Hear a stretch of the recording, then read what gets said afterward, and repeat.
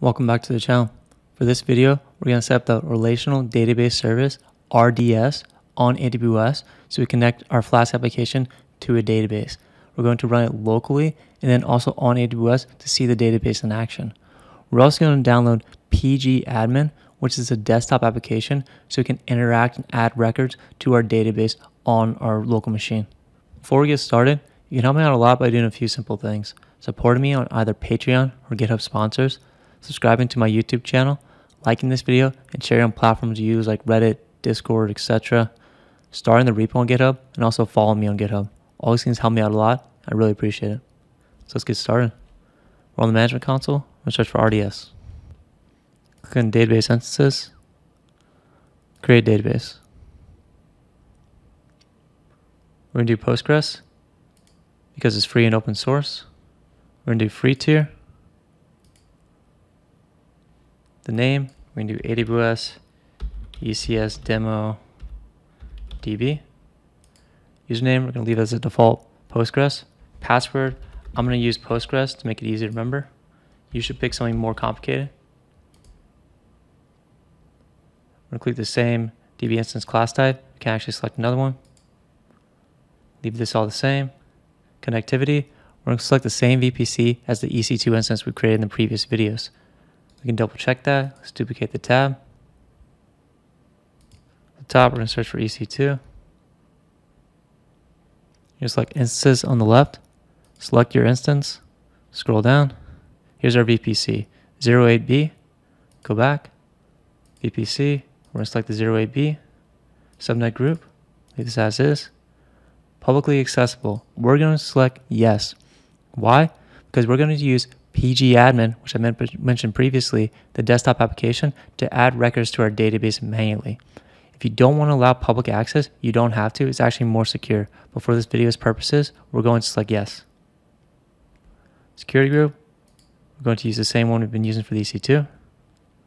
Additional configuration, port 5432. This is the default port for Postgres, and we're going to leave this as is. Scroll down, password authentication, additional configuration. We're going to create the initial database name. The AWS RDS is not a database per se, it's just a server. It can host multiple databases. So we need to create our initial first database we're going to use. We're going to call this customer underscore transactions. Scroll down. You can enable automated backups. It's highly recommended that you do.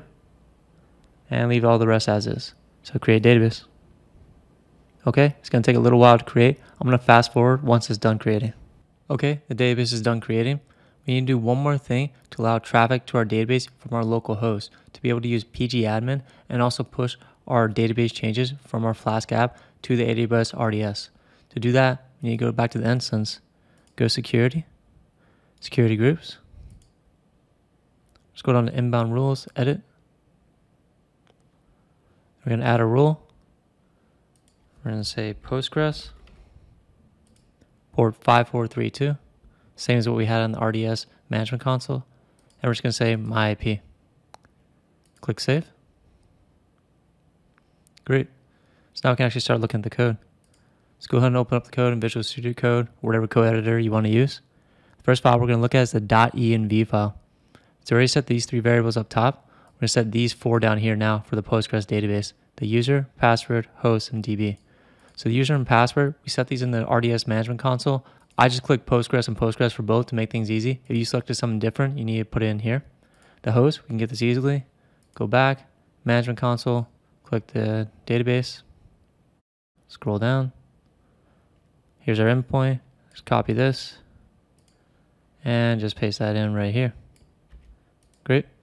And the database, remember we named this in additional configurations. We called it customer transactions. Great. Moving on to the requirements, we have these ones from before. We added a few. SQL Alchemy lets us run SQL Alchemy commands inside of Flask. Migrate allows us to push changes to our database from Flask to RDS. psycopg2 allows us to interact with Postgres inside of our Flask application. Boto 3 allows us to interact with AWS resources. It's a package create, created by AWS to interact with AWS resources. And .env to allow us to load the environment variables from our .env file. Moving on to the Docker file, we have these two lines right here. we're running apt-get update and install. We're installing a few Postgres packages necessary to be able to run Postgres inside of our Docker container.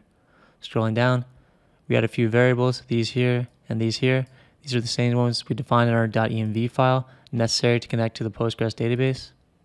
Nothing else is different down below. Go to the app.py.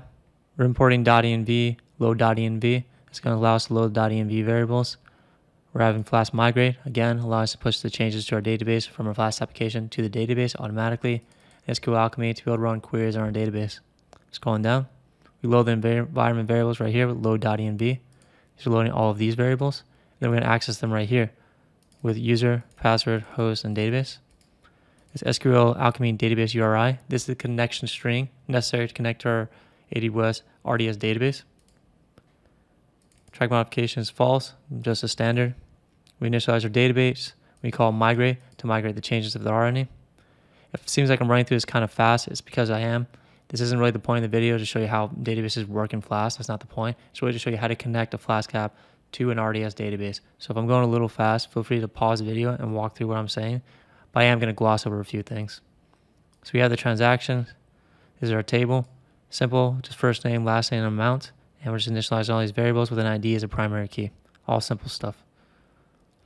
We added a new route as well, list DB. We're going to query the transactions table. The transactions is right here. And if there are any transactions, we're going to print them out, separated by a new line. And if there aren't, we're just going to say no transactions yet. Let's move on to the Docker Compose. We added the same four variables, user, password, host, and DB. Same thing down here. Great. So now we can actually try to run our Docker container locally and try to access our application to see if we can call the listdb function.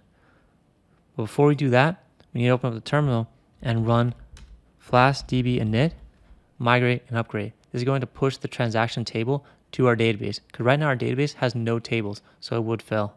So we're to call flask db init first. Flask db migrate dash m initial commit and then flask db upgrade. Great. So that's done. Now we can set our environment variables. So go back. We're going to go here. So set environment variable in PowerShell. You have to go env. That's how you set environment variable in PowerShell. So I'm going to do the other four. So my four environment variables are set. Now I'm going to run my Docker Compose file. Before you run this, make sure you have Docker Desktop running on your machine. Okay, so to run Docker Compose, we're going to do Docker Compose up dash dash build. Okay, it's running. So let's test in the browser. Go to the browser, go to localhost 5000. There we go. We got our original route. Let's check the list DB route. So list DB. No transactions yet. Perfect. So we know it's working. Now let's actually add a transaction. Way we're going to do that is using the pgadmin. I think I've been talking about this whole video. Just go to your browser, search for pgadmin.org, go to the download, select your OS. I'm using Windows. Download the latest version, install it. Once you have it installed, you can open it up. It looks something like this. Let's blow it up. Go to servers, register server. AWS ECS demo DB. The connection, we're going to get this from AWS. Go back to RDS. We're going to copy the endpoint again. Paste that in there. Username, I kept this as Postgres. If you change it, you need to change it here. Password, I just use Postgres again. Again, change it if you didn't. I'm going to click Save Password. Save. There we go. Now we're connected. Click into it. We got our databases. Here's our customer and transactions we created. I'm going to go schemas. Here's our tables and transactions. View all rows. Great, so we have nothing in there right now, so let's add one. do one, first name, let's put Alex. Last name, I'll put programmer. And amount, I'll put 1000. Click save up here. Great. Go back to the browser. Go back to our Flask web app running locally. Refresh. Alex programmer spent $1,000. There you go. Perfect. Great. So now the last thing we need to do is push this all to AWS so we can run it. So next we're going to go to GitHub.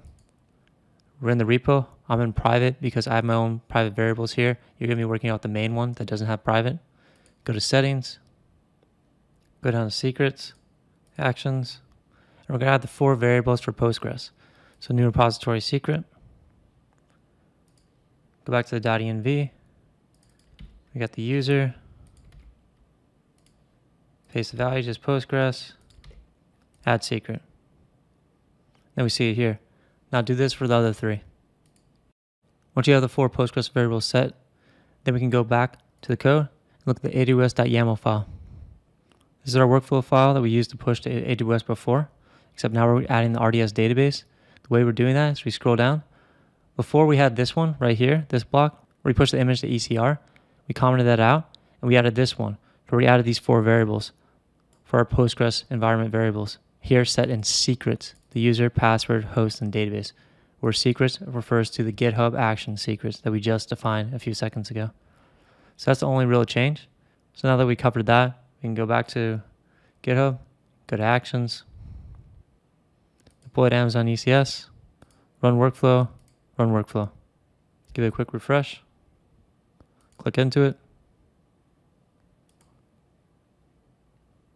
and I'll fast forward to when this is done. Okay, it's done deploying, so now we can actually check this. Go to the browser, AWS ECS demo, programming with alex.com. Here's our hello world endpoint. Let's check the list DB endpoint. List DB. Great, and we see it. So now everything's deployed. Our Flask application on AWS is interacting with our AWS RDS database. Perfect. That's it for this video. In the next video, we're going to take our Postgres credentials out of our Flask application and out of the GitHub Actions, instead put them onto AWS Secrets Manager so we can access them through there securely. If you have any questions or anything wasn't clear, just leave a comment below and I'll respond as quickly as I can. Thanks for watching and stay tuned for more.